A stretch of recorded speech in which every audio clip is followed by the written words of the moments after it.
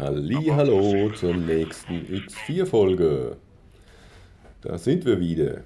Nachdem wir ja jetzt Blaupausen gestohlen haben mit dem Raumanzugs-EMP und haben jetzt die Blaupausen für so ein paar Fabrikgebäude weitere, dann werden wir die jetzt mal anbauen an unsere Station und unser Spielerhauptquartier, um das weiter auszubauen. Die Liste da rechts, die wird ja immer länger. Mann, Mann, Mann. So. Ja, ich denke mal, wo baue ich das hin? An eines dieser freien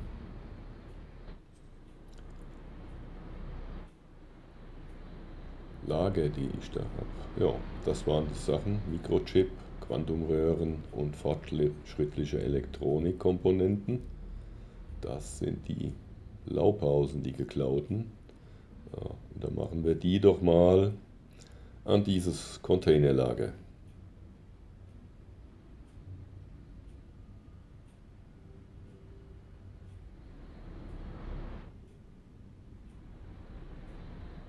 muss man halt immer mal gucken, wie ist das denn mit diesen Snap-Punkten.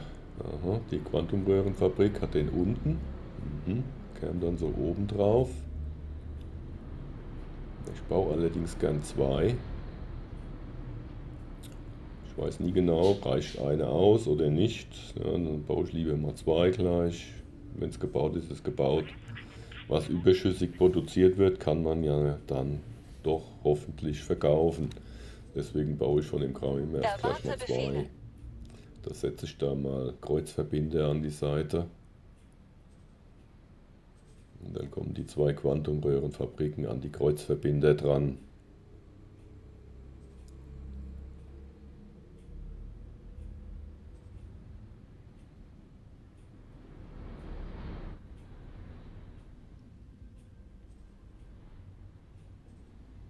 Jo, so machen wir das.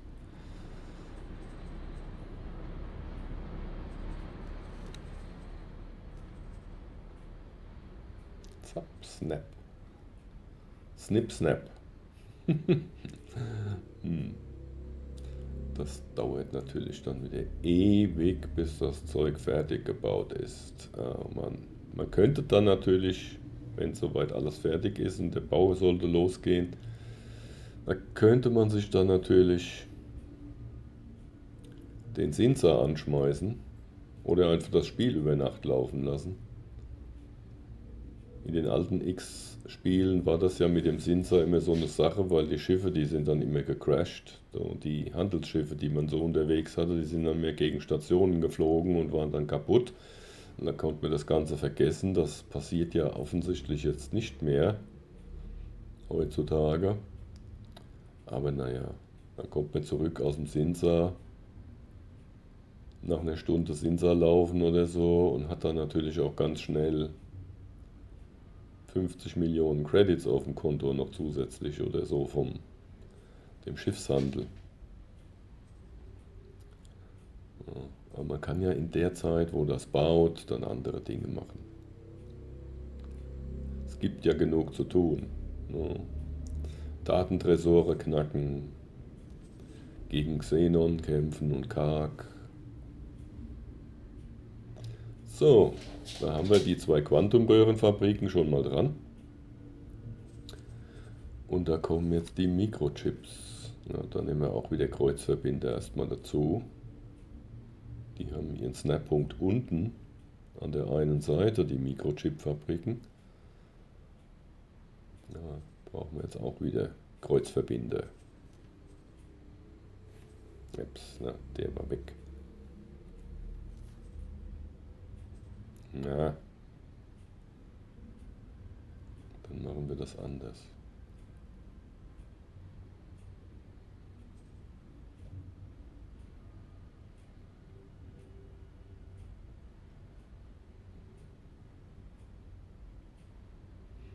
Jo, immer schön mit der rechten Maustaste drehen. So, schauen wir uns das mal an, wie das dann kommt. Na komm, dreh dich.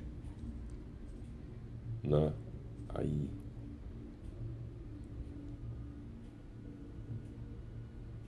Jo, hm.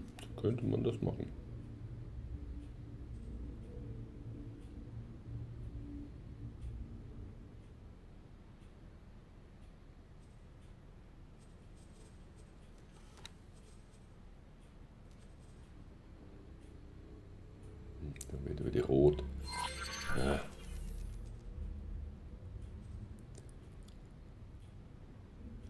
Also erstmal drehen und dann draufsetzen.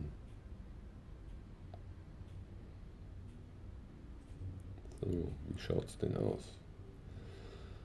Hm, so. Hm.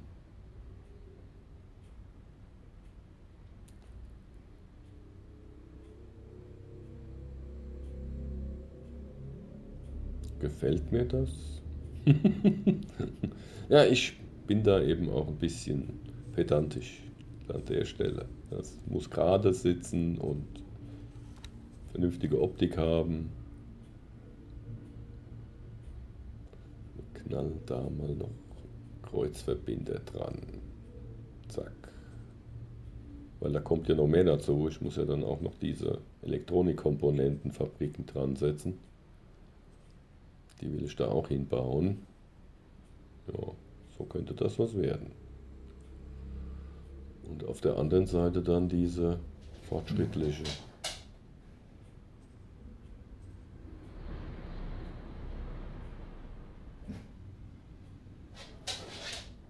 So, ja. Also die Richtung stimmt schon. Also sieht aus wie Flügel. Wie so Flugzeugflügel.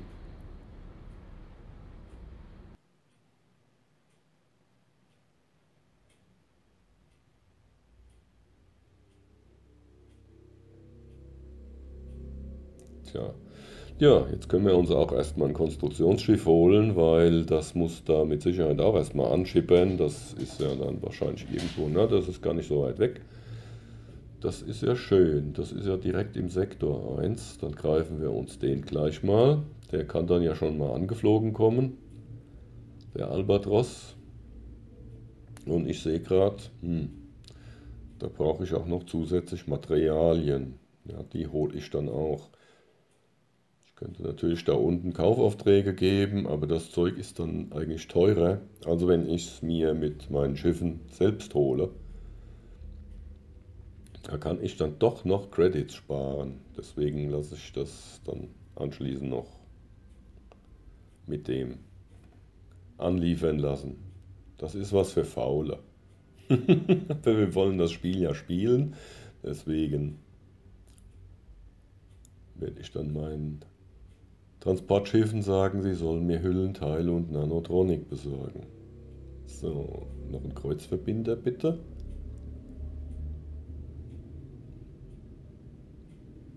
Und dann sparen wir natürlich damit auch noch Geld, wenn man sich das selbst besorgt. Man könnte es auch klauen. an eine Nanotronikfabrik und dann eben das Produktionsmodul, nee, das Lagermodul dort gehackt mit so einem Sicherheitsentschlüsselungssystem oder wie die Dinge heißen. Und dann schmeißt die Fabrik ihre ganzen Lagerbestände in den Weltraum und die sammelt man dann ein. dann kostet das Ganze gar nichts. So, Moduländerung übernehmen klicken, nicht vergessen, sonst war die ganze Arbeit umsonst. Wie man sieht, spiele ich hier im Pause-Modus, mache das Ganze im Pause-Modus. Spiel pausiert, steht da ja in der Mitte. Deswegen kommt natürlich dann auch unser ausgesuchter Albatros dann nicht an und fliegt nicht los.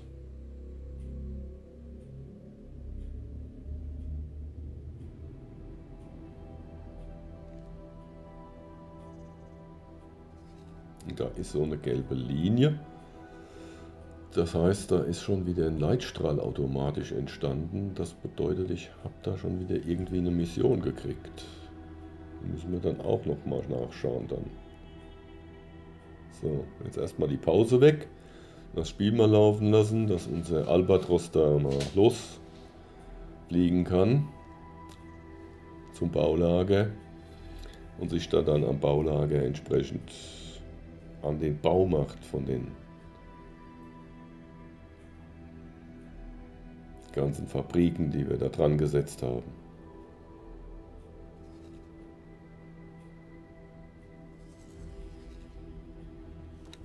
Tja, schauen wir mal wieder rein. Wie schaut es denn jetzt aus? Kreuzverbinde, Mikrochip-Produktion, Quantumröhren, fortschrittliche Elektronikkomponenten. Ja, das passt. Das, was wir uns alles geklaut haben, um eben auf unseren existierenden, vorhandenen Produktionen da weiter aufzubauen bis zu einem Endprodukt. Die haben wir dann. Und ein Wohnmodul hatte ich mir ja auch geklaut. Das werden wir dann auch mal da irgendwo dran setzen und dann wird dann langsam die Station bevölkert. Die ist ja menschenleer im Augenblick. Das Hauptquartier, da läuft ja kein Mensch rum im Moment, kein NPC, aber das ändert sich dann, wenn man entsprechend viele durch Wohnhabitate erzeugte NPCs dann hat. Die sind dann die Arbeiter ja, und die laufen dann auch auf der Station rum.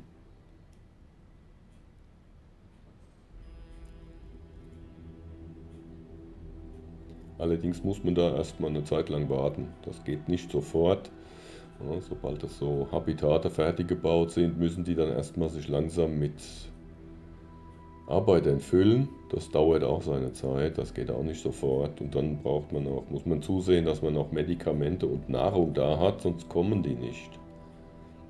Man muss dann also auch zusehen, dass man noch mit einem Transporter oder besser gesagt der liebe Stationsmanager, bei mir ja Managerin, muss dafür sorgen, dass da dann eben auch entsprechend was an Nahrung und Medikamenten angeschafft wird. Und da muss man sich dann auch danach richten, was für Habitate man baut, denn die Völker brauchen unterschiedliche Nahrung. So wie die Agonen, ich habe hier weitgehend eben Agonenfabriken und natürlich auch hier jetzt Agonenhabitat. Da brauche ich auch agonische Nahrung, das sind die Nahrungsrationen. Währenddessen die Teladi sich ja zum Beispiel von Nostropöl ernähren, da muss man dann Nostropöl produzieren oder kaufen oder kaufen lassen vom Stationsmanager. So, da ist meine, da ist meine Mission Beförderung zur Ministeriumshilfskraft. Mhm. Das sind die Teladis des Teladi Finanzministeriums. Um da mal hochzuleveln, habe ich ganz bewusst, die haben ja nur so zwei Stationen da in 18 Milliarden, Schiffswerft und, und Raumdock oder Raumpier. Und da habe ich ganz gezielt mal die versucht mit einem Frachter, mit einem Autotrader beliefern zu lassen, der dann nur dort verkauft und zwar eben auch nur die Waren, die diese Schiffsfabriken benötigen und das hat offensichtlich funktioniert. Das hat offensichtlich geklappt, dass dann eben langsam der Ruf, das Ansehen bei dem Finanzministerium gestiegen ist. Da werden wir irgendwann die Gelegenheit mal ergreifen und dahin schippern und uns da unsere Beförderung zum, zur Hilfskraft, zum Ministeriumshilfskraft mhm, abrufen. So, ja, und da ich Perfektionist bin, werde ich jetzt auch mal gucken, ob meine Fabriken da auch irgendwie richtig ausgerichtet sind.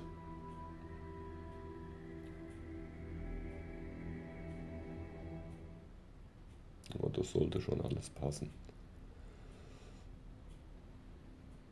So, da hängt das Habitat. Ich habe mir ja gleich ein L-Habitat geholt, weil mit so viel Produktionsstellen, so viel Fabriken da an der Station, da braucht man dann auch eine ganze Menge Mitarbeiter. Ja, dann braucht man mit kleinem Habitat gar nicht erst anfangen. Das gleiche Spielchen ganz von Anfang an ja, da habe ich ja von Anfang an schon gleich äh, agonische L-Containerlager gebaut. In weiser Voraussicht, dass man viel Platz braucht, weil dieses Spielehauptquartier, das kann halt richtig gut ausgerüstet werden. Und so ist es dann eben auch. Ja, man braucht schon viel Lagerplatz und man braucht dann eben auch schon viele Mitarbeiter, wenn man dann eben überhaupt mit Mitarbeitern arbeiten will. Muss ja nicht sein. So, übernehmen wir nochmal die Moduländerungen, damit es auch sicher gespeichert ist. Und wenn ich jetzt so schaue, sieht das doch ganz ansprechend aus. Da haben wir dann oben an der Station so die Grundstoffe, die da produziert werden. Dann haben wir da rechts nebendran die Zwischenprodukte, wie das Superfluid-Kühlmittel und Siliziumscheiben. Produzieren wir da ja auch noch da als Grund sozusagen, als Grundmodul. Ja, dann haben wir die Graphen. Und dann haben wir so die Endproduktproduktion, dann unten rechts. Dann haben immer noch Platz frei, nach oben und unten vor allem. Man kann ja mit den Verlängerungsbauteilen da auch nach oben und nach unten weiterbauen. Man muss ja da nicht auf dieser Ebene bleiben.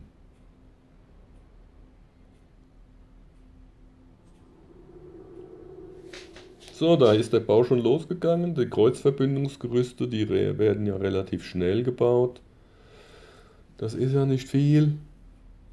Und den deaktiviere ich jetzt erstmal. Diese gelbe Linie stört mich. Das machen wir jetzt erstmal aus. So, das wird später in Angriff genommen. Da kann man hier in der Spielerübersicht auch nochmal sehen, wie sieht es denn aus mit dem Bau. Ne? Da sieht man da andere Module, 7%. Kann man auch reinschauen, kann gucken.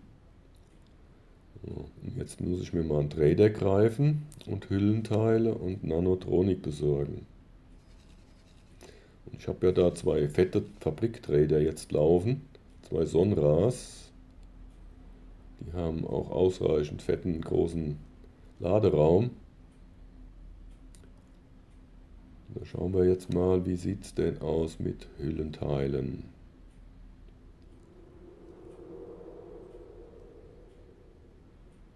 Ja, könnte ich auch Nanotronik gleich noch mit dazu nehmen. Schlau. Äh, so. Na, da sieht man zum Beispiel Nanotronik 1702 Credits. Ja, das ist doch schon mal ein niedrigerer Preis, als man den erzielen könnte, wenn man das anliefern lässt weil da kann man nicht unterhalb von 1800 irgendwas gehen.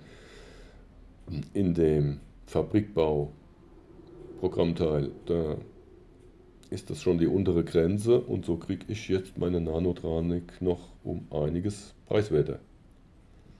So, dann kaufen wir da ein und liefern die gleich mal direkt ans Baulager. Jups die Sachen, Hüllenteile, genau dasselbe Spiel. Ja, 127 Credits ist richtig billig. Das ist echt preiswert. Dann nehmen wir doch gleich mal hier, hier volle Kanne, 3600 Stück mit. Weil ich brauche ja eh über 10.000. Und wenn mehr drin sind, schadet es auch nichts, weil ich weiß ja gar nicht, ob ich mit dem Bau schon fertig bin. Wahrscheinlich nicht. Da wird noch mehr anzubauen sein an dem Spielerhauptquartier. Das war bestimmt noch nicht das letzte. So.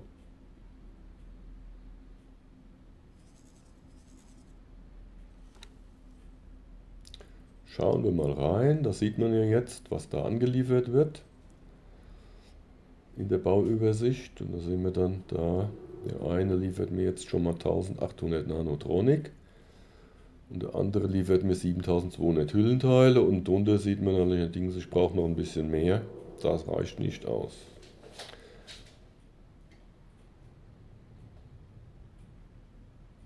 Da muss ich noch mehr Geld ausgeben. Hm. Naja, hilft nichts. Müssen die Jungs halt nochmal fahren. Was da angezeigt wird, was die Schiffe da anliefern, das wird nicht unten abgezogen. Erst wenn es dann am Lager, im Lager liegt, wird das unten abgezogen. Deswegen muss man sich das dann halt ausrechnen, wenn man es ganz genau haben will. Ich nehme es ja dann nicht so genau und ich sehe, ich habe hier gerade noch vergessen, die Ware ins Baulager zu transportieren. So sieht es nämlich aus. Mhm. Jetzt sieht die Sache nämlich anders aus. Da haben wir nämlich jetzt schon mal genügend Nanotronik.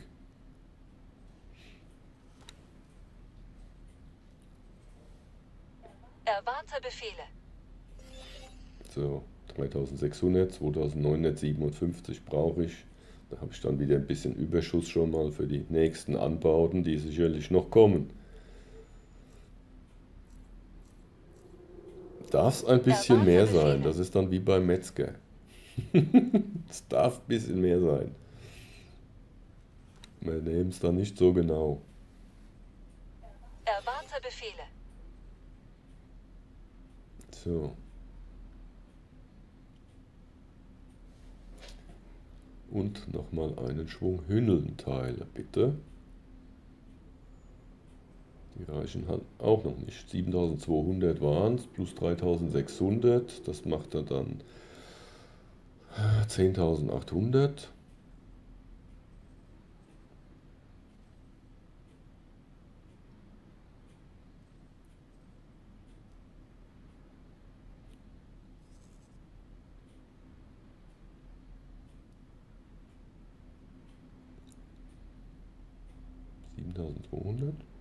3, 10, ja, genau, 10.800 Hüllenteile, die dann geliefert würden jetzt von meinem Sonra Trader 1 fürs Hauptquartier. Tja, so weit, so gut. Lassen wir den Baum mal laufen. Dann sind wir erstmal am Ende. Dann werde ich das Video hier an dieser Stelle mal beschließen. Und wir müssen eben abwarten, bis das alles fertig gebaut ist. Und ich sage mal Tschüss und schönen Tag noch.